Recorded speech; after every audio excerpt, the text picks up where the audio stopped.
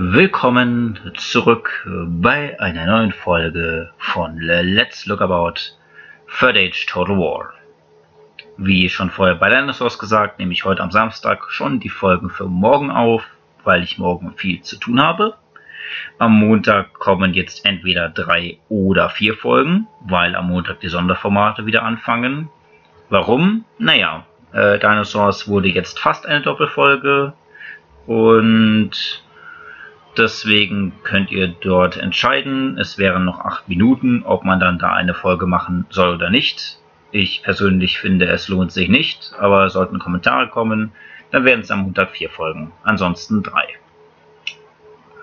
Beim letzten Mal hatten wir mit 18 Einheiten das Volk Königreich von Anor, ein Elitevolk, ein Volk, was man normalerweise nicht bekommt, sondern nur mit gewissen Voraussetzungen. Heute kommt das zweite 18 Einheiten Volk, mal wieder ein böses Volk und auch hier eins der mächtigsten Völker. Wer hätte es gedacht?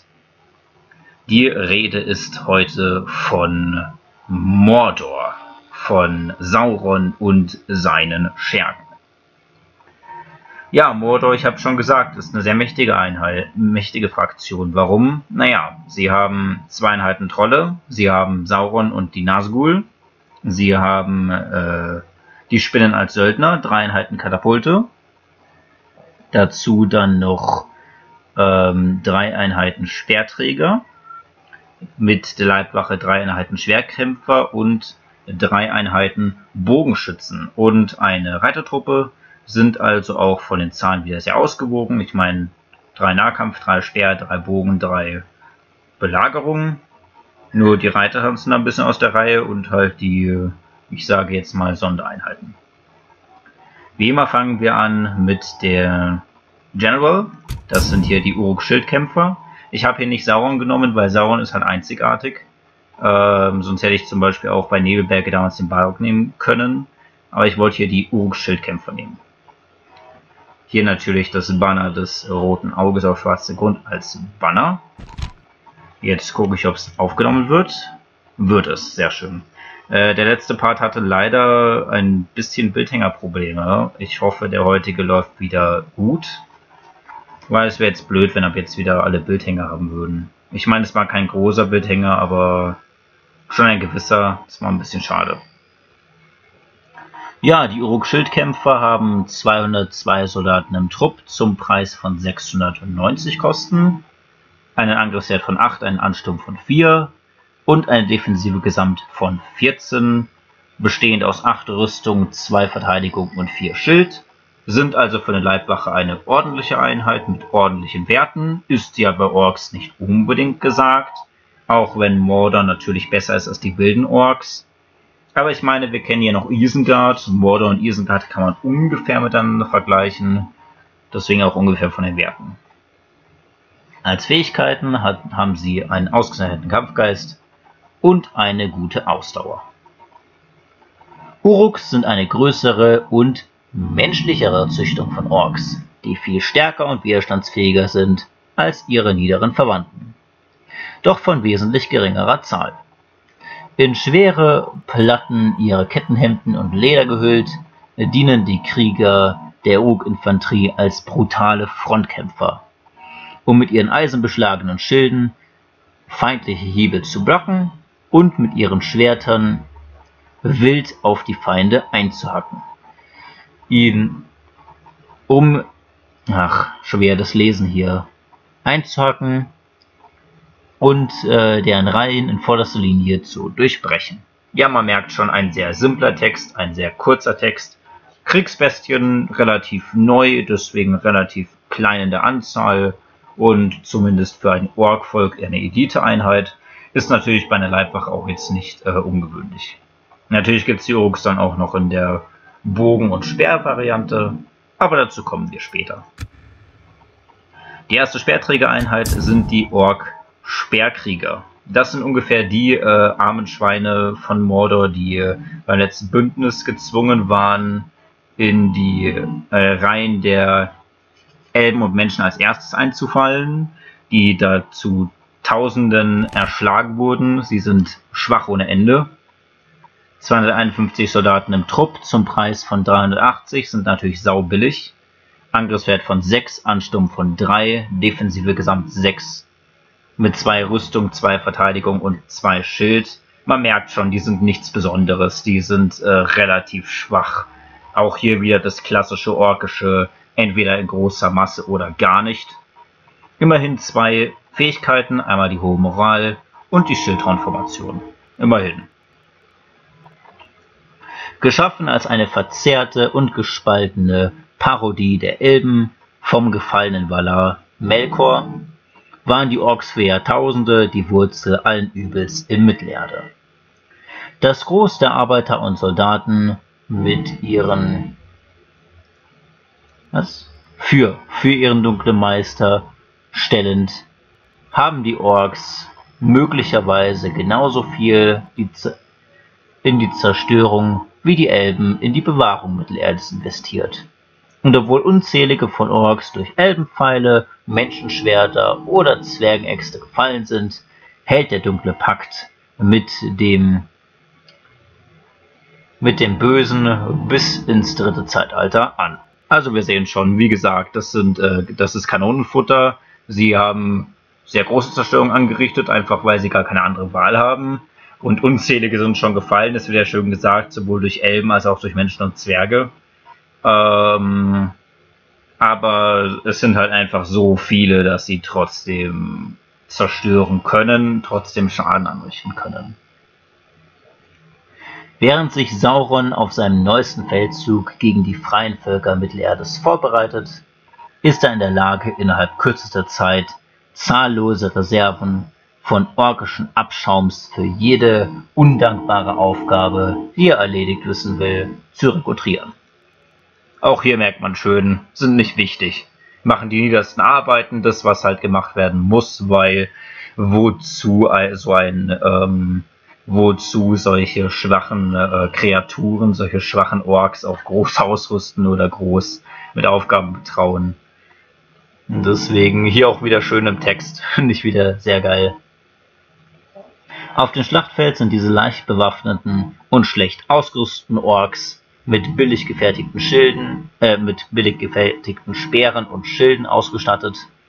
Und erneut wird das dunkle Blut der schwachen, aber zahlreichen Orkhäupten, Orkhorden die Erde schwärzen, wenn sie den Hauptangriff glaube ich. Ja, während sie den Hauptangriff des Feindes erwarten, im, um Mordors tödlicher Kreaturen einen Flankenangriff zu ermöglichen. Ja, Kanonenfutter. Mordor hat genug andere Möglichkeiten, deswegen wird hier schön von den tödlichen Kreaturen geschrieben. Und was, als was anderes sollte man sie auch benutzen, nicht benutzen. Das sind absolut keine Elite-Krieger und auch keine, auf die man sich verlassen sollte, trotz der hohen Moral. Ähm, ja, was soll man dazu noch sagen? Die zweite Sperreinheit ist schon besser. Das sind nämlich die Wächter des Schwarzen Tores. Also die, die durchaus einen wichtigen Zugang nach Mordor bewachen. Deswegen sind sie auch besser ausgerüstet. Auch hier 251 Soldaten im Trupp zum Preis von 530. Man merkt schon, deutlich teurer als die schwachen Ork-Sperrkrieger und von den Werten auch deutlich besser als die normalen Ork-Sperrkrieger. Angriffswert von 7, Ansturm von 4, Gesamtdefensive 12 mit 5 Rüstung, 3 Verteidigung und 4 Schild. Die haben schon äh, etwas mehr auf den Kasten, sind jetzt auch keine Elite, aber sind für Orks doch recht ordentlich. Sie haben drei Fähigkeiten, die gute Ausdauer, den ausgereihten Kampfgeist und auch hier wieder die Schildtraumformation. Aber ihr merkt es vielleicht, kein Bonus gegen Kavallerie. Das hatten die normalen Ork-Sperrkrieger auch nicht. Ähm, wahrscheinlich wegen den schlechten Waffen einfach. Orks wurden einzig und allein geschaffen, um zu plündern und zu brandschatzen, zu morden und zu terrorisieren. Doch nicht alle Orks werden eingesetzt wie die namenlosen Massen, deren Aufgabe es ist, die freien Völker Mittelerdes zu vernichten. Die Wächter des Schwarzen Tores wurden ausgebildet, um den Hauptzugang der dunklen Landen von Mordor und die Ebenen von Udun zu verteidigen. Sie sind bewaffnet mit mächtigen Speeren und eisenbeschlagenen Schilden und gerüstet mit schweren, in den Tiefen von Baradur und Durthang gefertigten Kettenpanzern. Anders als die meisten anderen und niederen Orks sind sie gut ausgebildet und in der Lage, eine solide Verteidigungslinie gegen feindliche Truppen zu halten. Man merkt schon hier im Text, ähm, das sind zwar immer noch keine geachteten Orks, aber es sind auch keine Orkmaden mehr. Es sind Orks mit einer wichtigen Aufgabe, deswegen haben sie auch um einiges höhere Werte als die Orkmaden. Man muss die wirklich so bezeichnen. Und ähm, die haben halt einen Job zu erfüllen, weil gerade das Schwarze Tor, es wird ja schon schön vom Hauptzugang geschrieben. Das sollte halt nicht fallen, sonst hat Sauron halt ein Problem. Das weiß er natürlich und deswegen haben wir mit den Wächtern des Schwarzen Tores durchaus eine sehr solide Einheit. Aber die stärkste Schwerträgereinheit sind die Uruk-Helebardenträger. Natürlich, ich habe ja schon gesagt, es gibt die Speer- und die Bogenvariante von den Uruks und natürlich stellen die Uruks hier die Elite. 201 Soldaten im Trupp mit 630 Kosten, also auch nicht übermäßig teuer für eine Elite. Mordor ist halt eher wieder ein Volk, was nicht so wahnsinnig teuer ist. Aber ähm, wen wundert's? Das ist jetzt nicht so wahnsinnig überraschend. Ähm, weil die meisten sind halt wirklich nur billige Orks. Selbst die Uruks sind zwar stärkere Orks, aber dennoch nicht unbedingt mit mächtigen anderen Fraktionen vergleichbar. Merkt man ja auch in den Werten. Angriffswert von 6, Ansturm von 3 und Defensive gesamt von 12 mit 8, mit 8 Rüstung und 4 Verteidigung. Ich meine, ja, es sind Helebardenträger, es sind so gesehen das Pikenträger-Äquivalent, sie sollen beschützen, aber trotzdem, die Werte sind jetzt nicht übermäßig hoch. Immerhin haben sie vier Fähigkeiten. Sie sind effektiv gegen Panzerungen und können die Sperrmauer bilden wegen ihrer Hellebarden. Außerdem haben sie eine gute Ausdauer und einen ausgezeichneten Kampfgeist. Also hier keine sehr langen Speere, es sind keine Pikenträger. Und auch hier nicht der Bonus gegen Kavallerie. Aber immerhin effektiv gegen Panzerung. Das macht sie schon wichtig, weil sie damit eine Chance haben, trotzdem stärkere Feinde zu schlagen. Und äh, jetzt müssen wir gucken, weil das meiste ist hier gleich mit den Uruk-Schildträgern.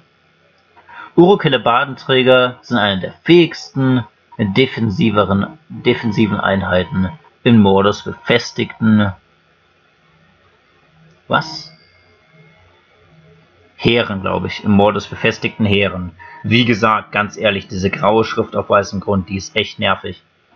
Die Hellebarden werden von starken Orks geführt, die in schwere Rüstungen und Kettenpanzer gehüllt sind und die, so, und die sowohl das Anstürmen feindlicher Kavallerie mit den langen Stoßdornen stoppen können, als auch feindliche Infanterie mit den Beiklingen niedermetzeln können. Ja, man merkt schon, hier ist dann wieder ein groberer Text. Es sind halt Uruks. Es sind keine Urukai, aber es sind Uruks und deswegen, ne, wir sind die Mächtigen, wir kriegen den Fight hin, der kann kommen, was will. Aber auch hier natürlich kein Schild, weil halt Hellebarde braucht beide Hände. Kommen wir zu den Nahkämpfern. Die Nahkämpfer fangen an, fangen an mit den Ork-Plünderern, also der dem Äquivalent zu den Ork-Sperrkriegern, bloß halt äh, mit Nahkampfwaffen und demzufolge auch nicht das Gelbe vom Ei. 251 Soldaten im Trupp zum Preis von 460, 6er Angriffswert bei 3 Ansturmbonus und Gesamtdefensive 8 mit 4 Rüstung, 2 Verteidigung und 2 Schild. Ich meine, sie sind ein bisschen stärker als die Ork-Sperrkrieger, aber trotzdem nicht wahnsinnig gut. Auch hier eigentlich nur sinnvoll im Massen nutzbar. Als Fähigkeit haben sie auch nur die hohe Moral und nichts anderes. Ja, wie gesagt, einfach Orks. Ich meine, wenn es schon im Namen Plünderer heißt, dann weiß man schon, das sind nicht gerade die bestbezahltesten äh, Soldaten, die Sauron so in seiner Armee hat.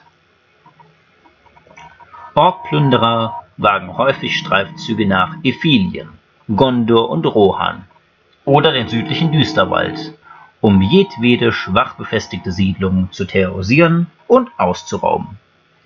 Zu Beginn des Krieges wurde ihnen aufgetragen, Gondors Verteidigung auszukundschaften und die Elben Dothloriens und des Düsterwalds zu schikanieren und was zu schikanieren. Ach so, und schik ach, zu schikanieren.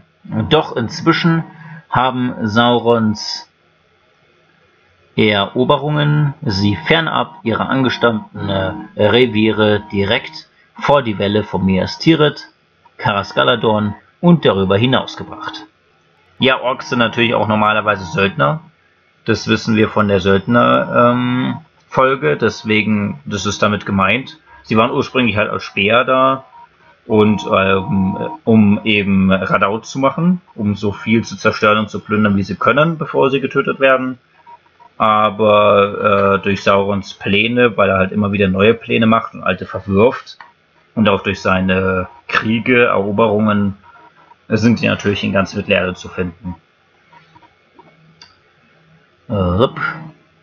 Obwohl sie wegen ihrer erbeuteten und improvisierten Waffen und Rüstungen und ihrem Mangel an taktischem Verständnis für offene Kriegsführung ungeeignet sind, konnten die Reihen unerfahrener oder übertrieben selbstbewusster Feldherren durch die schiere Zahl und die unbändige Aggression der Orkplünderer überrannt werden. Diese Orks sind mittelschwer bewaffnet mit Holzschild, Axt und Krummschwert. Ja, man merkt schon, man sollte sie nicht unterschätzen, in der Anzahl können sie gefährlich werden, aber allein sind die halt, ja, improvisierte Waffen, improvisierte Rüstung, zusammengebaut aus dem, was sie halt finden können und nicht wirklich trainiert, im Gegensatz zum zum Beispiel den Wächtern des Schwarzen Tores, deswegen ja, de facto hm, nicht so stark. Dann kommen wir zur zweiten Ork-Einheit im Nahkampf, die Ork-Schlechter. Die hatten wir ja erst bei Gundabad. Ich bin mir aber nicht sicher, ob es dieselbe Einheit ist. Auch hier natürlich wieder zweihändig geführte Äxte. Ne, es ist nicht dieselbe Einheit. Oben ist ein anderes Bild. Ich äh, werde also den Text zumindest kurz durchgehen müssen.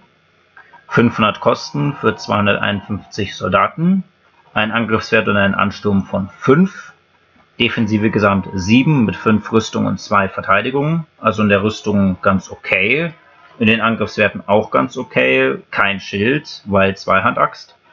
Ähm, und sonst, naja, mittelmäßig. 500 Kosten sind jetzt auch nicht unbedingt so günstig. Sie haben halt den Bonus im Kampf gegen Kavallerie ist hier ja wichtig. Wir wissen, das hatten die Speerträger nicht. Durch die ähm, Echse sind sie effektiv gegen Panzerungen und sie haben natürlich eine hohe Moral. Also äh, unwichtig sind sie natürlich nicht. Äh, Krieger der Orks wie diese, das Tageslicht fürchtend, doch beherzt bei Nacht und brutal, blutrünstig und lieben, äh, sind brutal, blutrünstig und lieben den Kampf. Ja, hier kommt's wieder schön, die Wut der Orkschlechter, die hatten wir schon bei Gundabad. Hier kommt auch wieder das mit dem Tageslicht ist blöd. Äh, man sieht ja oben im Bild auch, dass eindeutig der rote, rot-schwarze, also was heißt rote, rot-schwarze Himmel von Mordor. Deswegen in Mordor gibt's halt nicht wirklich Tageslicht, da spielen sie ihre Trumpfkarte aus. Ähm, und bei Nacht sowieso. Orkische Zweihandkämpfer führen Äxte, Hämmer und alle anderen Mordwerkzeuge, die sie finden können. Eine gesindelhafte Zusammenstellung geplünderter und von Orks geschmiedeter Rüstung dient zum Schutz dieser grausamen Orkschlechter. Obwohl ihre Waffen plump und unhandlich sind, kann man sie effektiv in zusammen was Oh, ernsthaft. Im Zerschmettern kann man sie effektiv im Zerschmettern von Rüstungen und dem Spalten der Schädel ihrer Feinde ähm, umsetzen. Ja, man merkt es auch hier. Sie haben nicht perfekt geschmiedete Waffen, auch die nehmen alles, was sie finden können. Auch die haben nicht wirklich eine Ausbildung, brauchen sie halt nicht, weil es sind halt die stärkeren Orks, obwohl sie keine Urukai sind, beziehungsweise in dem Fall Uruks. Es sind halt die stärkeren Orks und die aggressiveren Orks und sie sind nützlich. gegen Panzerungen, halt auch gegen Kavallerie und deswegen in jeder Mordor-Armee gerne gesehen. Kommen wir zu den Bogenschützen. Da fangen wir an mit den Ork-Speeren. Also haben wir hier quasi äh, die Fernkampfvariante zu den Ork-Speerkriegern oder den Ork-Plünderern. Die Ork-Speer sind 151 im Trupp für 350, einen Angriff von 4 im Nah- und Fernkampf, Ansturm von 2 und eine defensive Gesamt ebenfalls von 4 aus 2 Rüstungen und 2 Verteidigungen. Man merkt schon, das sind dieselben Werte wie bei den Snaga-Bogenschützen. Deswegen äh, sind die natürlich auch wieder schwach ohne Ende. Wie gesagt, das sind die Ork-Speerkrieger im Grunde, bloß halt mit Bögen statt mit Speer und Schild. Ähm, und hier auch wieder Masse oder gar nicht, weil alleine sind sie halt wirklich schwach. Sie haben Langstrecken-Fernkampfwaffen, Brandpfeile und hohe Moral. Die Orkspeer sind nur professorisch gerüstet. Sie tragen eine dicke Kombination aus allem, was sie in Plünderungen erbeuten konnten. Schwere Leinen, rostige Kettenhemden und lumpiges Leder was auch erklärt, warum sie nicht wahnsinnig gerüstet sind. Wie gesagt, das ist auch so eine Truppe, die ist kaum ausgebildet, die ist erst recht nicht ausgestattet, weil man will halt keine Ausrüstung für schwache Krieger verschwenden. Ähm, aber halt trotzdem durch ihre Anzahl, in dem Fall halt zum Spähen, ähm, wie ja schon schön der Name sagt, trotzdem geeignet. In der Masse natürlich. Da sie in der Lage sein müssen, sich schnell zu bewegen und zu verstecken, können sie keine schweren Rüstungen anlegen. Keine schwerere Rüstung anlegen. Ihre primäre Bewaffnung ist ein grober Bogen, den sie auf sichere Distanz abfeuern, da sie keine ausgebildeten Krieger sind und es bevorzugen, sich aus Nahkämpfen herauszuhalten. Was nachvollziehbar ist, weil man sieht es ja an den Werten, im Nahkampf sind die sehr schnell Schwertfutter. Ähm, deswegen sind sie halt ein bisschen nützlicher als zum Beispiel die Speerkrieger, weil sie können halt Hit and Run machen durch den Fernkampf, aber trotzdem, man kann hier nicht von guten Kriegern reden. Da ein Aufeinandertreffen feindlich gesinnter Gruppen manchmal unausweichlich ist, hat man die Orkspeer zur Verteidigung außerdem mit Kurzschwertern bewaffnet. Ja, aber bestimmt keine teuren Kurzschwerter. Da waren ja die Hobbits stärker aus dem letzten Part, glaube ich. Ich bin mir jetzt nicht 100% sicher, aber ich glaube sogar die waren stärker. Oder zumindest nicht schwächer. Kommen wir zu ein bisschen ernsthafteren Ork-Schützen wenn gerade nicht spontan das Spiel abgeschmiert wäre, finde ich schon wieder nicht so toll. Okay, ich muss das Spiel nochmal starten, leider. Es ist nämlich gerade abgestürzt. Das heißt, wir schauen uns jetzt gleich die Stärken und Schwächen an. Ja, das ist schon wieder ein bisschen blöd, ich weiß, tut mir leid. Äh, hätte jetzt nicht zwangsweise sein müssen, wenn man mich fragt. Aber zumindest waren wir am selben Punkt. Das äh, ist doch schon mal irgendwas. So, hier nehme ich jetzt Mordor. Hier brauchen wir eine Zahl mehr, weil wir halt mit Sauron und so eine teure Einheiten haben. Hier nehme ich jetzt Gondor. Mordor Stärke, kann Massen an Orks und mächtige Trolle ins Feld führen. Es braucht halt auch Massen an Orks, wir haben es ja bei den bisherigen Truppen gesehen, sonst haben die ein Problem. Schwäche ist die Mangel an Kavallerie. Ja, man hat halt nur eine Reitertruppe. Die Spinnen sind in gewisser Weise Reiter, sind aber Söldner. Die hat man nicht immer, deswegen der Mangel ist natürlich vorhanden. So, hier nehme ich jetzt einfach die Leibwache des Generals, ist ja egal. So, Schildkämpfer, Speerkrieger. Ich mache das jetzt ganz schnell hier. Äh, lip. Aber ich muss mich trotzdem ein bisschen konzentrieren. Nein, Erst die Reiter, jetzt die Trolle, dann Nazgul und Sauron und dann, ja, wir haben auch hier drei Katap wir haben auch hier wieder drei Einheiten Belagerungswaffen. Wie auch bei der letzten Folge bei Anor. Aber leider nicht Grond. Ich finde es schade, dass leider kein Grond da ist. Weil die andere Grond wurde ja erwähnt, ne, bei den Bergtrollen. Die Bergtrolle haben wir hier ja auch. So, jetzt halt kommen wir zu etwas ernsthafteren Bogenschützen, den Ork-Bogenschützen. Die sind natürlich jetzt auch nicht großartig, aber sie sind schon mal besser als die Ork. Speer, jetzt schauen wir mal kurz, ob es aufgenommen wird, weil er halt einmal abgeschmiert ist. Ja, wird es. Sehr schön. Muss ich nur kurz warten, bis er ins Spiel zurückgeht. Ja, ich äh, mache jetzt auch ein bisschen schneller, weil die letzte Folge hat halt äh, über eine Stunde gedauert. Ich würde es gern wieder unter einer Stunde halten. Aber ähm, weiß nicht, ob ich das schaffe. Ich hoffe, ich bin nicht zu schnell. Hier sind die Texte ja meistens auch recht kurz. Die Orkbogenschützen haben 151 Mann im Trupp für 460. Haben im Fern- und Nahkampf einen Angriffswert von 5, Ansturm von 2 und Defensive gesamt 7 mit 4 Rüstung und 3 Verteidigung. Also man merkt schon, sie sind nicht viel stärker als die Ork Speer, aber immerhin ein Punkt in den Angriffswerten mehr und ein bisschen höhere Rüstung, also sie sind auch nicht schwächer hohe Moral, Langstrecken-Fernkampfwaffen und Spitzpfähle. Genauso wie natürlich die Feuerpfeile. Also hier haben wir wieder eine etwas gemeinere Einheit, was äh, natürlich sehr schön ist. Von Orks gefertigte Bögen sind nur von minderer Qualität. Sie brechen oft, aufgrund häufiger Benutzung, auseinander und weil sich die Orks nicht um ihre Ausrüstung kümmern und diese nicht ausreichend gepflegt wurde. Oder? Ja. Ja, gepflegt wurde. Die Pfeile hingegen sind wesentlich haltbarer und können wieder und wieder genutzt werden, weil meistens entweder für den Schaft oder die Federn, äh, weil meistens nur der Schaft oder die Federn ersetzt werden müssen. Also wir merken schon, dass Orks sind halt auch praktisch veranlagt äh, ihre Waffen sind zwar eigentlich Schrott und gehen schnell kaputt, aber Pfeile kann man halt immer finden, weil Pfeile bauen nicht so viel ähm, Ressourcen, sage ich mal. Und ich meine, die Bögen an sich ja auch nicht. Deswegen macht es halt auch nichts, wenn Bogen mal kaputt geht.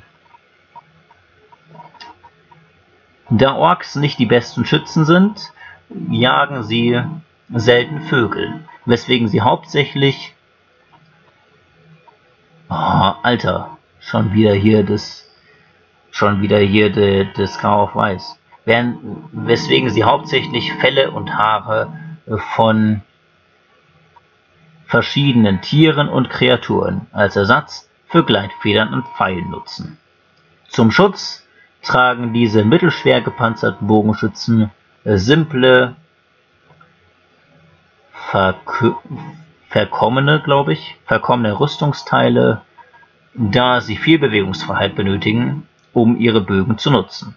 Also wir merken schon, die Pfeile sind auch nicht das, was sie bei anderen Völkern sind. Sie treffen die Vögel nicht, deswegen müssen sie was anderes nutzen für die Federn. Und ähm, sie brauchen viel Bewegungsfreiheit, deswegen keine wahnsinnig geile Rüstung. Aber immerhin besser als die der Orkspeer. Also sie haben zumindest eine Grundausbildung erhalten. Das ist bei Orks ja nicht unbedingt gesagt, deswegen immerhin. Lalalala. Außerdem äh, tragen sie einen Dolch und grobe Kurzschwerter, um sich im Nahkampf zu verteidigen, was jedoch keiner der Orkschützen äh, gerne erleben möchte. Ja, genauso wie bei den Orkspeeren. Man hat was zur Not, um sich verteidigen zu müssen, aber wollen tut man nicht, wenn man nicht muss, weil man gerät da halt eher in Gefahr zu sterben. Das heißt, wenn man nicht davor durch einen Pfeil niedergeschossen wurde. Aber an sich macht die Logik natürlich Sinn. Gut, kommen wir zu den stärksten Schützen bei Mordor. Natürlich auch hier wieder Uruks, die Uruk-Bogenschützen. Immerhin, wir haben also Uruks in allen drei Grundtypen, noch nicht bei Reitern, aber berittene Uruks sehen auch irgendwie seltsam aus, finde ich. Die Uruk-Bogenschützen sind auch 151 Soldaten im Trupp, kosten 520, haben im Nahkampf genauso wie die, Bogen, die Ork-Bogenschützen 5, aber im Fernkampf 6. Ansturm ist genauso 2, also immerhin im Fernkampf ein Punkt mehr. Und die Defensive ist deutlich höher, gesamt 11, mit 8 Rüstung und 3 Verteidigung. Also schon deutlich höher, das ist doppelt so viel. Die Fähigkeiten sind gleich. Sie haben die Brandpfeile, wie man rechts sieht. Sie haben die Spitz können die Spitzpfähle verwenden, Langstrecken-Fernkampfwaffen, außerdem eine gute Ausdauer und einen ausgezeichneten Kampfgeist. Hier ist natürlich jetzt der erste äh, Satz wieder derselbe, wie wir schon bei den anderen Uruks hatten. Aus diesem Grund werden Uruks häufig als Bogenschützen eingesetzt, da sie in der Lage sind, größere Bö Bögen mit höherer Reichweite zu nutzen als gewöhnliche Uruks. Schwer gepanzert sind sie mehr als nur in der Lage, sich eines direkten Angriffs ihrer Feinde zu erwehren, weil sie dann ihre Langbögen durch Kurzschwerter austauschen, um ihre Feinde niederzumetzeln. Also hier hat man schon, die wollen den Kampf, die würden im Nahkampf im Gegensatz zu anderen Bogenschützen nicht fliehen, sondern würden sich denken, okay, kann ich ihn zumindest aus der Nähe zerhacken. Und statt ihn nur abzuballern, finde ich halt auch schön, wie hier schön der Unterschied gezeigt wird zwischen den eher feigen normalen Orks und halt den, ja, in Anführungszeichen Elite-Uruks. Weil ich meine, unbedingt eine Elite sind sie nicht, aber für Mordor-Verhältnisse schon. Kommen wir zu der Reitereinheit. Die Reitereinheit gefällt mir ganz besonders. Es sind die schwarzen Numenorer. Ich weiß, ich weiß, ich habe gesagt, Menschen hat eigentlich nur Isengard. Ähm, und halt Gundabad durch Söldner. Die schwarzen Numenorer sind streng genommen auch Menschen. Der Punkt, warum ich die schwarzen Numenorer nicht genannt habe, war, sie sind untot. Genauso wie die Nazgul. Oder auch wie der klassische schwarze Numenorer Saurons Mund. Sie sind Menschen, aber halt die höchsten Diener des dunklen Herrschers und deswegen nicht ganz mehr am Leben. Also ich weiß jetzt nicht, ob sie untot sind, aber sie sind auf jeden Fall auf einer Zwischenstufe zwischen untot und lebend. Und ja, die schwarzen Numenora, wir sehen es gerade äh, an den Werten, sind eine sehr mächtige Waffe. Die sind ein Killer. Sie kosten 1500 für 37 Soldaten sind also sehr teuer, aber die Werte sind wirklich sehr stark. Sie haben 11 Angriffswert mit 6er Ansturm, relativ wenig Ansturm für Kavallerie, aber haben hohe Defensivwerte. Defensive gesamt 18 und davon allein 10 Punkte Rüstung und 8 Punkte Verteidigung. Auch hier wieder die, die Pferdepanzer, man sieht es oben im Bild besser. Und halt die Helme. Ich finde die Helme hier verdammt cool. Die fand ich auch im Film schon ziemlich geil. Die hatte ja zum Beispiel im Krieg im Norden auch Aganda. Ähm, diese Helme. Ich mag die Helme, die sehen cool aus. Die ähm, zeigen durchaus, dass hier was Böses ist. Sie haben eine sehr gute Ausdauer, verängstigen Feinde in der Nähe, allgemein, Infanterie und Kavallerie und haben einen ausgezeichneten Kampfgeist, haben also auch sehr nützliche Fähigkeiten. Die schwarzen Numenorer sind jene Menschen, die sich im zweiten Zeitalter Sauron zuwandten und seitdem verehren. Diese dunklen Nachfahren Numenors stellen, stellen das Verdorbene der Menschheit dar. Naiv und ambitioniert gaben sich diese Numenorer derselben Schwäche hin, die seit jeher die Menschen plagt, und wurden abtrünnig. Sie traten im Austausch für Macht in Saurons Dienste, doch alles, was sie erhielten, waren Hass und Leere. Ja, natürlich, wir wissen ja, Sauron hat manipuliert ohne Ende, gerade auf Numenor, und äh, hat viel versprochen. Natürlich, als Maya hat er auch die Macht dazu, aber wenig gehalten.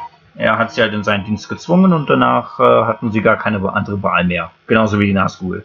Danach haben sie einfach keine Wahl mehr, als ihm zu dienen. Sie können danach nicht einfach sagen, ach nö, ich mach das jetzt nicht mehr, weil ich kriege hier ja nicht das, was mir versprochen wurde. Sklaven seines Willens, wissen wir aus dem Film.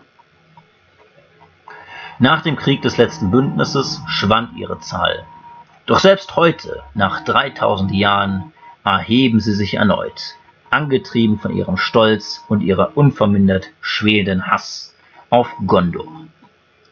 Wenn sie das Schlachtfeld betreten, besteht kein Zweifel an den Gedanken und Intentionen der schwarzen Numenorer. Diese brutalen berittenen Nahkämpfer, die von einem Nazgul angeführt werden, Muss ich kurz schauen, ob das wirklich stimmt. Nee, ist ein normaler Numinora. Aber ich glaube, die schwarzen Numinora sind auch eine Art Leibwache, wenn man äh, einen Nazgul hat. Ähm, ich habe halt deswegen die Uruk-Schwertkämpfer als Nahkämpfer genommen, weil das ist so das herkömmlichste. Das ist halt das, was jeder Ork-Anführer hat unter Mordor. Und äh, die schwarzen Numenora sind halt eine Leibwache, wenn man mal einen Nazgul als General hat. Aber das hat man halt nicht immer, deswegen habe ich sie nicht genommen. Deswegen haben sie auch jetzt keinen Nazgul, der sie anführt. Äh, normalerweise ist das nämlich eine Tatsache. Äh, Nazgul angeführt werden, haben bedrohlich geschwärzte Rüstungen und mit den, und mit den Gesichtern verborgen hinter eisernen Masken sind sie Henker, die ihre Feinde erbarmungslos mit zweihändigen Schwertern massakrieren. Deswegen auch keine Schilde. Natürlich, sie äh, müssen sich konzentrieren, gleichzeitig zu reiten und zu kämpfen. Und ähm, ja. Aber ich finde die Einheit halt sau cool. Allein schon, dass es zwischen den ganzen billigen Orks und dem ganzen Abschaum halt auch verführte Menschen gibt, finde ich halt ziemlich cool. Diese Hüter des Todes sind eine wahre Waffe des Schreckens, gegen die nur die Besten und Mutigsten bestehen können. Ja, die Werte geben ihnen recht. Kommen wir zu den Trollen. Wir fangen hier an mit den Bergtrollen. Auf die Bergtrolle gehen wir natürlich nur kurz ein, weil wir hatten sie bei Gundabad. Ähm, deswegen nichts Großes hier.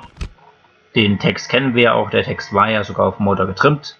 12 Trolle im Trupp für 1200 Kosten, Angriffswert von 30, Ansturm von 10 und eine defensive Gesamt von 29 aus 6 Rüstung und 23 Verteidigung und 5 Trefferpunkte.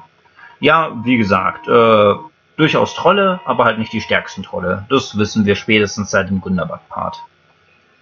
Fähigkeiten, sie verängstigen feindliche Infanterie, können ohne Befehl vorstürmen mit einer schnellen Fortbewegung und einem kraftvollen Ansturm, Sie haben eine gute Ausdauer, einen auswärtigen Kampfgeist und können sich nicht verstecken. Mehr ist nicht zu sagen. Den Text kennen wir schon und das, was über die wichtig ist, auch. Aber dann gibt es ja noch die Olokai. Die äh, Elite-Troll-Truppe, die nur bei Mordor ist.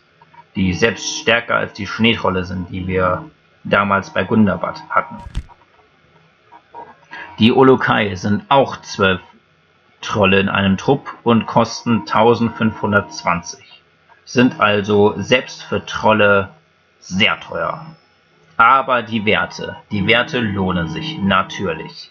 Angriffswert von 34 bei einem Ansturm von 12 und eine Gesamtdefensive von 36 mit 9 Rüstung und 27 Verteidigung.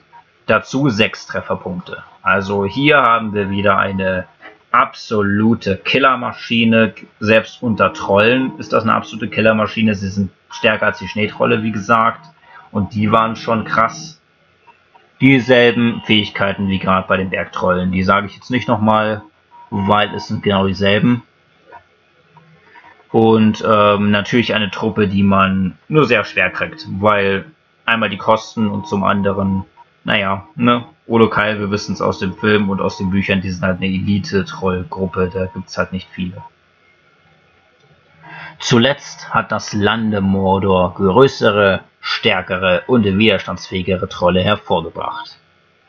Die Olokai sind eine von Sauron auf unbekannte Art und Weise gezüchtete Trollart. Diese Kampftrolle sind noch größer und stärker als normale Trolle und ertragen Sonnenlicht ohne Probleme, weshalb sie fälschlicherweise manchmal mit Rie für Riesenorks gehalten werden. Übrigens auch eine Tatsache. Man weiß nicht genau, wie Sauron an die Olokai kam. Man weiß, dass er sie mit magischen, mit magischen Methoden gezüchtet hat, aus normalen Trollen. Wahrscheinlich ähnlich wie halt es äh, von Morgoth mit aus Elben Orks machen und aus Ents Trolle also in seinem Fall halt dann aus Trollen die Olokai. Aber wie genau er das gemacht hat, weiß man nicht. Und auch das mit den Riesenorks wird oft gesagt, weil, wie gesagt, ihnen macht die Sonne nichts aus. Sie wären ein bisschen wie die, wie die Uruk-Variante eines Trolls, könnte man sie nennen. Weil Bergtrolle zum Beispiel ähm, erstarren in der Sonne zu Stein. Das wissen wir spätestens seit dem Hobbit-Film. Und äh, die Ulukai sprechen auch die schwarze Sprache. Also die Sprache, die man im Mordor spricht. Die Sprache, die zum Beispiel auf dem Ring steht und die ansonsten nur von hohen Würdenträgern, zum Beispiel Nazgul oder Saurons Wund oder auch den schwarzen Numenoran gesprochen wird. Keine Sprache, die normale Trolle sprechen würden. Mhm. Ansonsten teilen sie mit Orks allerdings äußerlich keine Gemeinsamkeiten, sondern sind wie die übrigen Trollarten riesig und mit schuppiger Haut versehen. Im Gegensatz zu den anderen Trollarten besitzen die Olokai eine bösartige Intelligenz. Gehüllt in eine partielle Metallrüstung und in der Lage, selbst den vernichtendsten Hieben zu trotzen, überragen diese Ungetüme sowohl Ork Mensch als auch Pferd. Bewaffnet mit einem massiven, dornenbewehrten Streitkolben verursachen Kampftrolle unvorstellbare Vernichtung in den Reihen ihrer Feinde und sind die tödlichsten und gefürchtetsten Truppen des dunklen Herrschers Sauron. Ja, zumindest wenn man jetzt wirklich von ihm selber oder den Nazgul absieht. Ansonsten sind sie wirklich der Oberkiller die einzigen, die da halbwegs rankommen, sind die schwarzen Numenora oder die anderen Trolle, aber eben auch nur halbwegs. Die normalen Orks und Uruks, wir haben es an den Werten gesehen, kommen im Traum nicht an die ran. Da könnten die sich noch so anstrengen und noch so viel Moral haben. Die kennen im Traum nicht an die Olokai ran. Kommen wir zu den Nazgul. Wie gesagt, eine Truppe, die man normalerweise natürlich nicht hat. Ähm, und ja, ihr seht es vielleicht, 10 im Trupp, das liegt aber auch nur daran, weil hier der Ork als Bannerträger steht. Finde ich übrigens richtig funny, dass man hier einen Ork-Bannerträger hat bei den Nazgul, bei den mächtigsten Dienern des dunklen Herrschers. Dass da ein Ork-Bannerträger ist, ist irgendwie, ich weiß nicht, keine Ahnung. Liebe Entwickler, sagt mir bitte, was ihr euch dabei gedacht habt, weil es sieht, es sieht einfach lächerlich aus. Man muss wirklich schmunzeln. Ähm, und ja, es sind alle neun. Äh, der Hexenkönig wird hier jetzt nicht besonders gekennzeichnet, weil ihr seht schon, die haben alle die normalen Kutten, aber immerhin. Es sind die Nazgul. Natürlich total episch. 1200 Kosten, interessanterweise billiger als die Olokai. 10 Soldaten im Trupp, ja eben wegen dem Ork-Bannerträger. Angriffswert von 34 mit einem Ansturm von 12 und defensive gesamte 26 mit 8 Rüstung und 18 Verteidigung und 8 Trefferpunkte. Ja, natürlich, die sie sind untot. Die sterben halt einfach nicht. Ich meine, von den Werten, kann ich mal kurz vergleichen. Äh, von den Angriffs- und Ansturmbonuswerten sind sie genauso wie die Olokai. Von der Defensive sind sie schwächer als die Olokai, haben aber halt mehr Trefferpunkte. Ähm, man merkt schon, wenn sie schon die gleichen Angriffswerte und Ansturmbonus wie die großen Trolle haben. Ich meine, es überrascht keinen, weil es sind die Nazgul. Aber man kann sich vorstellen, was die auf dem Schlachtfeld anrichten. Hier gefällt mir übrigens das obere Bild ziemlich gut. Ja, von den Fähigkeiten. Sie haben einen Kampfbonus in Wäldern und in Schnee. Also dasselbe, was die Hobbits hatten. Sie können ohne Befehl vorstürmen, haben eine sehr gute Ausdauer, einen kraftvollen Ansturm und natürlich einen ausgeheilten Kampfgeist. Wundert wahrscheinlich keinen bei den Nazgul. Die Nazgul, auch als Ringgeister bezeichnet, sind treue und gefürchtete Geistwesen und die höchsten Diener des dunklen Herrschers Sauron. In ihrer tatsächlichen Gestalt sind sie nur in einer geisterhaften Parallelwelt sichtbar, die nur den Ringträgern sowie einigen anderen Wesen wie Saurons zugänglich ist. Hat man ja schön im Film gesehen, Frodo konnte sie in ihrer wahren Gestalt sehen, wo er den Ring auf hatte. Sauron kann sie natürlich in wahrer Gestalt sehen. Es gibt auch ein paar andere ähm, mächtige Elben zum Beispiel können das dieses Zwischenreich betreten. Glorfindel wird zum Beispiel im Buch besonders erwähnt oder Galadriel natürlich. Also es beschränkt sich jetzt nur nicht nur auf Sauron. Ich glaube Gandalf kann sie auch sehen. Also Istari glaube ich auch. Aber ähm, die meisten natürlich nicht. Für die meisten sind sie natürlich hier die schwarzen Kapuzen tragenden Todesmaschinen.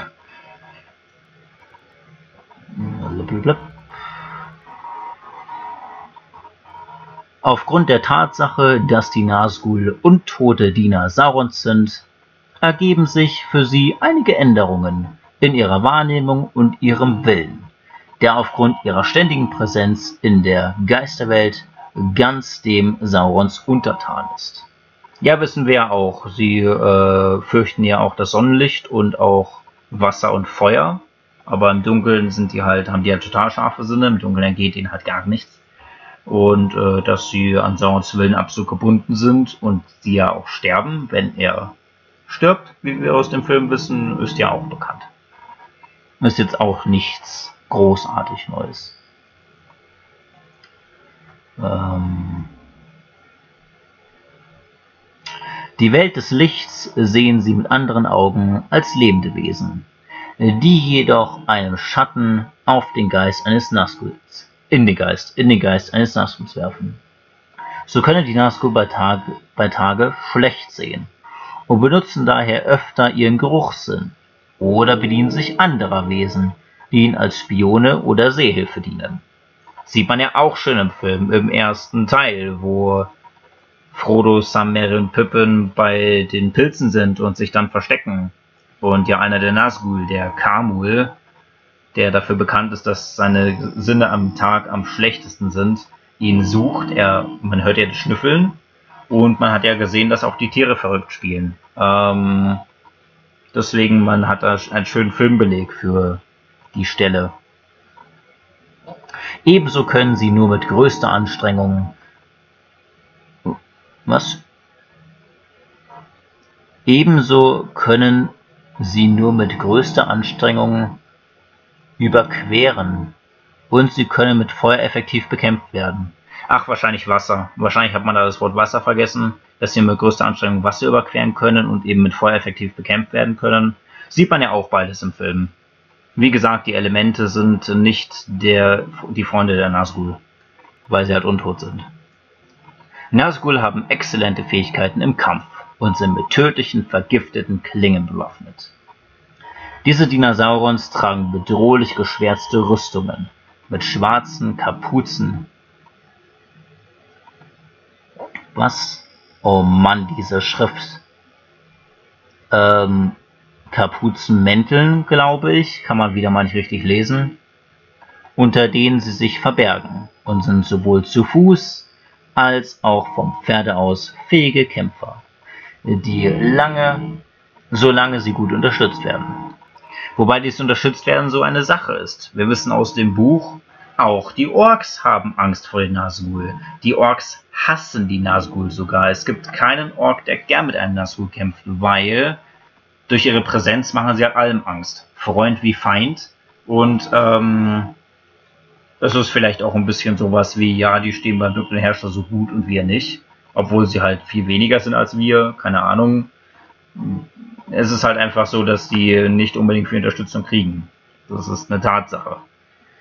Ähm, ist auch interessant, dass hier das mit zu Fuß und zu Pferde erwähnt wird, weil man hat sie nicht zu Pferde. Zumindest nicht, nicht als reguläre Einheit. Wie gesagt, wenn man im normalen Spiel einen Nazgul-Helden hat, dann kann er mal ein Pferd besitzen, halt mit den schwarzen Numinoran, aber normal haben sie keine Pferde. Deswegen auch interessant.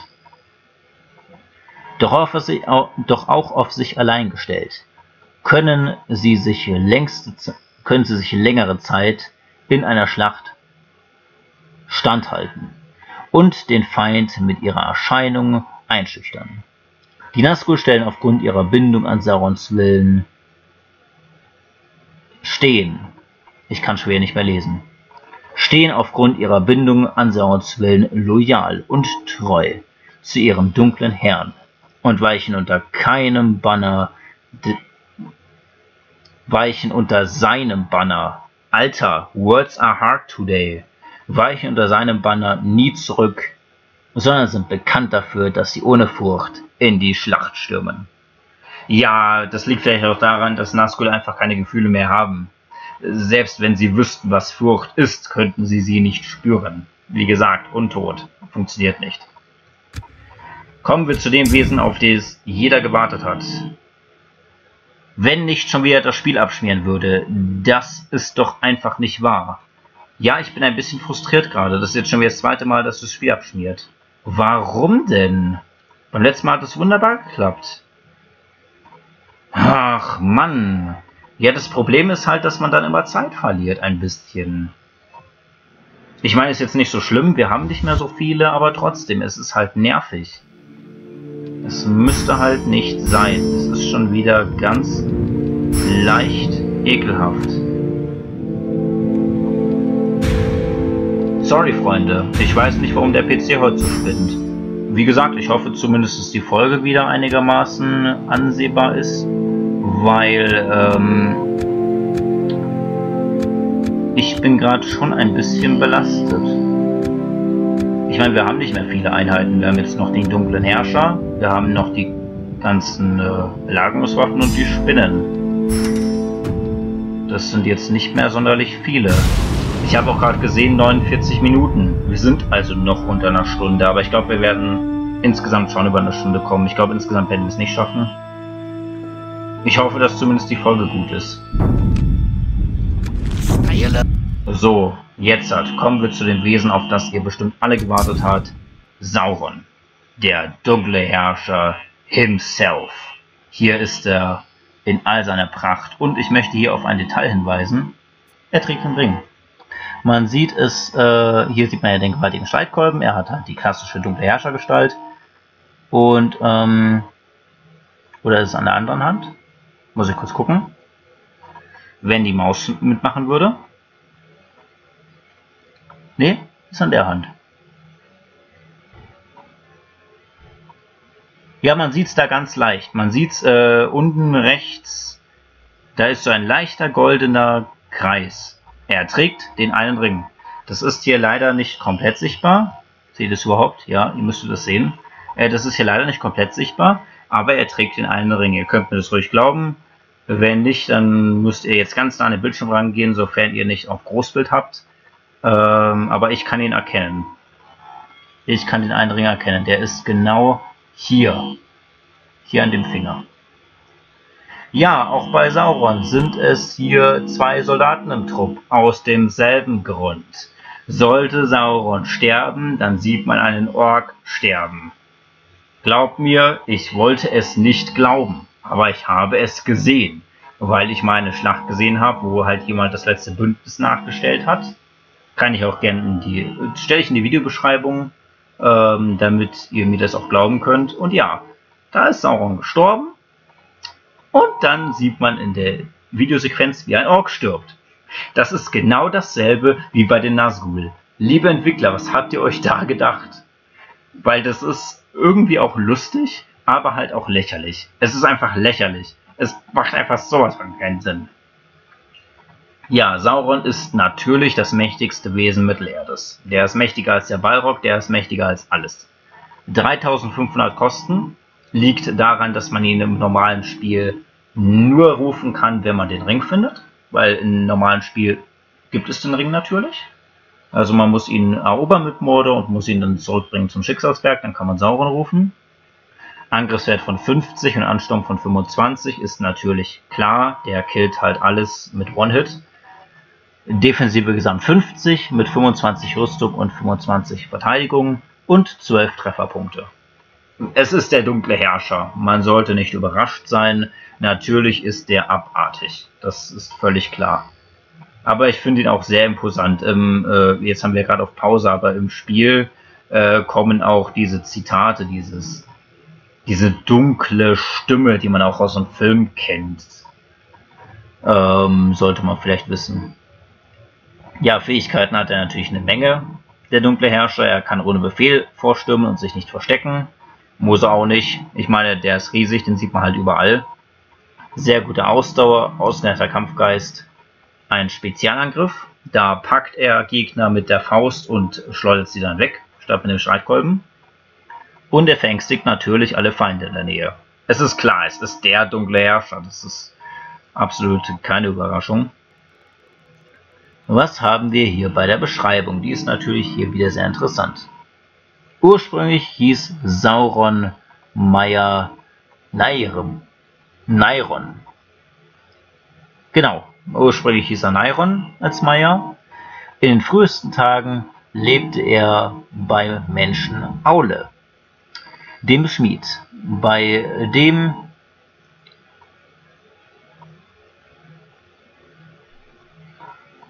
was äh, lebte er beim Menschen Aule, der Schmied bei den herrschenden Mächten der Welt war. Jetzt hat. Wie gesagt, words are hard today. Sorry. Äh, natürlich ist es kein Mensch. Aule ist ein Valar, wie die anderen auch es ist halt interessant bei Aule ist, dass es der Valar ist, wo alle Verräter waren. Sauron war bei ihm, Saruman war bei ihm in der Lehre und beide sind Verräter geworden. Das ist ziemlich interessant. Ähm, weiß nicht. Liegt vielleicht in seinem Charakter auch ein bisschen. Allerdings wohnte Myron bald, wurde, wurde Myron bald von Melkor, also Morgoth, verführt der die Macht über ganz Arda wollte. Mairon wurde übermannt und da, darauf, nein, umbenannt. Umbenannt und diente als Sauron Morgoth treu. Und auch nachdem Morgoth geschlagen wurde und außerhalb der Grenzen der Welt eingesperrt wurde, zwang Sauron, zwang Sauron seine Diener Morgoth als Gott zu verehren. Ja, natürlich, äh, das ist völlig klar. Er ist einer der treuesten äh, Diener Morgoths gewesen, deswegen war er dann auch der dunkle Herrscher, so lange wie Morgoth äh, verbannt ist. Hat halt am Ende durch den Ring nicht ganz geklappt, ne? Aber an sich ist das rein logisch. Doch während Morgoth entweder die Kontrolle oder Zerstörung von Ada wollte, war es Saurons Wunsch, den Verstand und Willen von Geschöpfen zu beherrschen. Sauron sah darin einen taktischen Zweck, einen taktischeren Zweck als sein Meister Morgoth. Sauron war der Oberleutnant von Morgoth, der nach Morgoths Sturz ein dunkler Herrscher wurde und letztendlich dem gleichen verdorbenen oh, Alter, ich kann heute wirklich nicht mehr lesen, es tut mir leid. Den gleichen verdorbenen ruinösen, glaube ich. ruinösen Weg, wie sein Vorgänger ging. Ja, keine Ahnung, das ist wieder ein seltsamer Satz. Im Sindarin heißt Sauron Gortaur und er ist auch als der Geisterbeschwörer und der Namenlose bekannt, während Morgoth der dunkle Feind ist. Die Dunedain genossen. Ach Mann. Die Dunedain nennen ihn Sauron der Betrüger, weil er eine entsprechende Rolle beim Untergang vom Numenor gespielt und den Ring der Macht geschmiedet hat.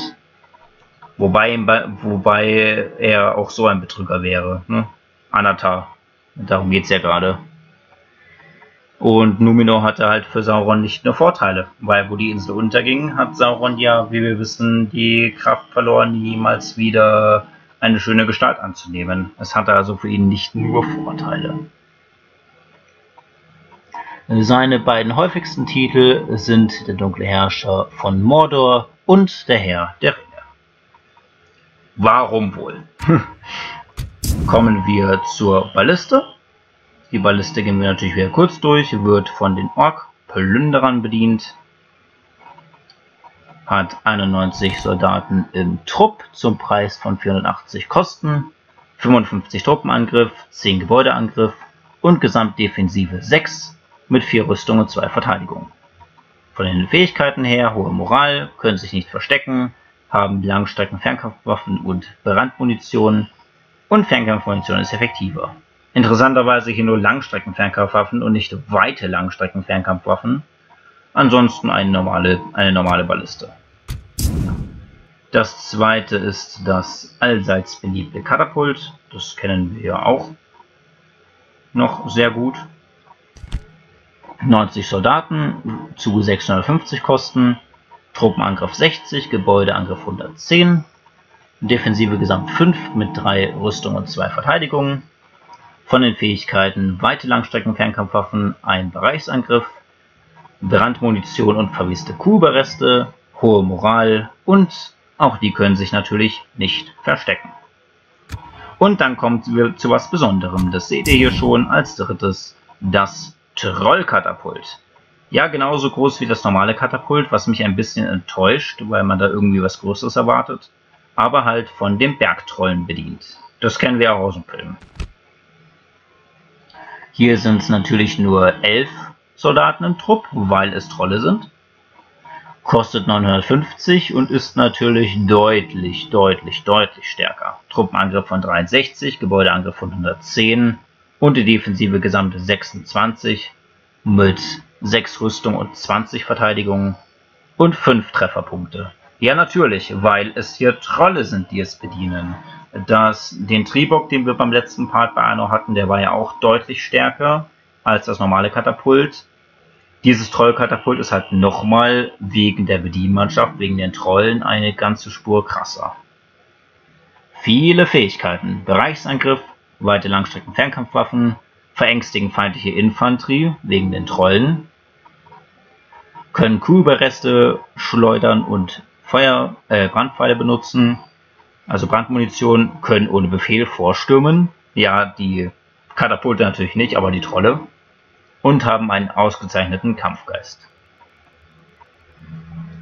Gefertigt aus stabilem Holz ist dieses steinewerfende Holzgeschütz in der Lage, brennende und normale Geschosse zu schleudern, die groß genug sind, um einen Gegner den Schädel zu zerschmettern und um feindliche Einheiten zu vernichten.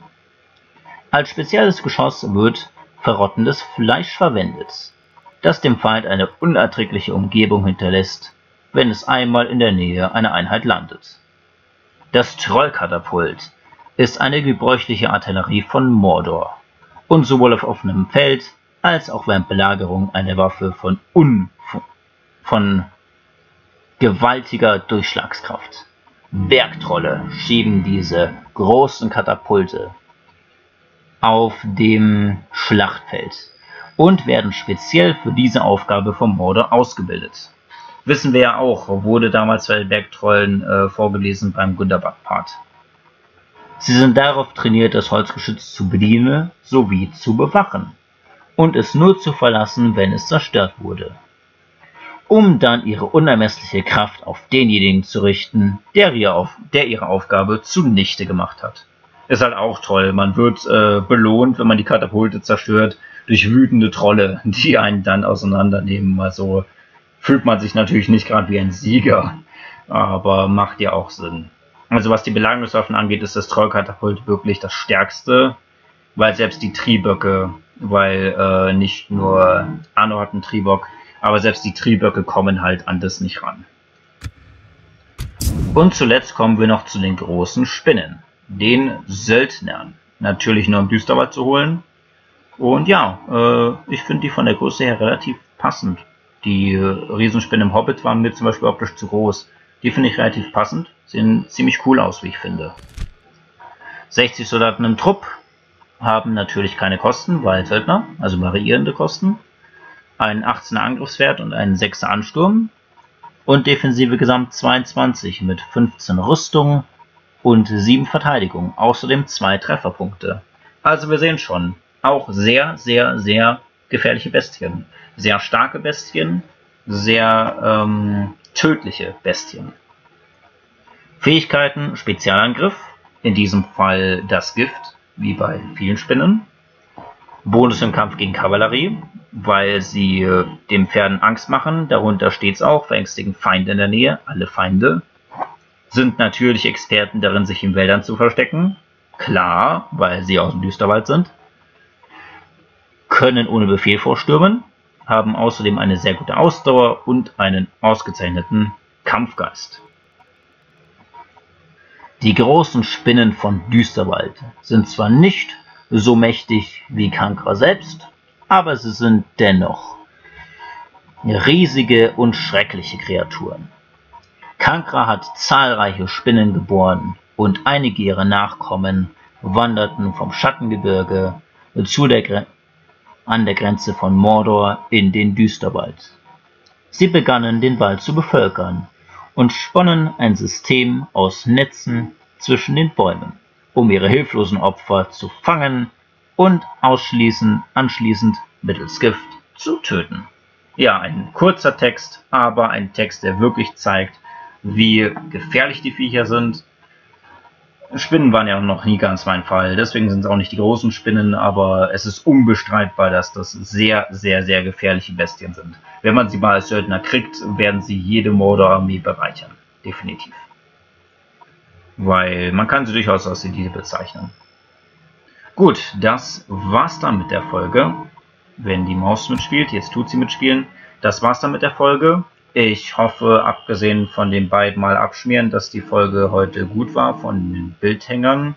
Ich gehe jetzt nicht aus dem Spiel raus, weil die Stärken und Schwächen haben wir schon gesehen.